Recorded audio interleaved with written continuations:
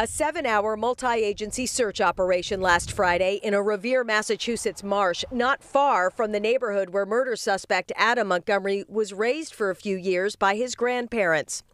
What investigators were hoping to find was not disclosed, but locating Harmony Montgomery's remains is a priority.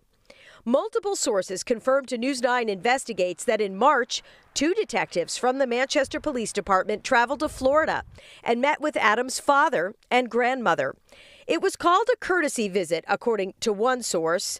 Detectives shared new, gruesome, upsetting details about Harmony's death that the family had not heard before. Adam Montgomery is charged with second degree murder. According to the grand jury indictment, he recklessly caused Harmony's death by repeatedly striking her in the head with a closed fist.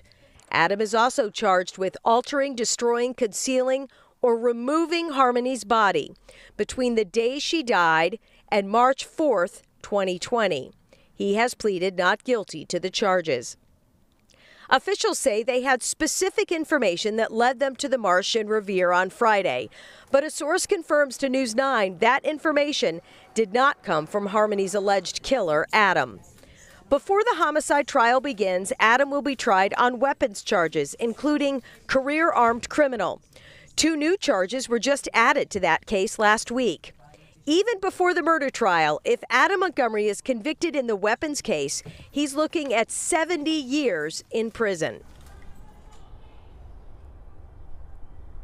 Harmony Montgomery's homicide trial is set to get underway in August. And although right now her remains, as far as we know, are still missing, investigators tell News 9 Investigates that they have amassed a lot of evidence from various locations here in the city, and they're confident that will prove their case. We're live outside the Hillsborough County House of Corrections. Amy Coveno, WMUR News 9.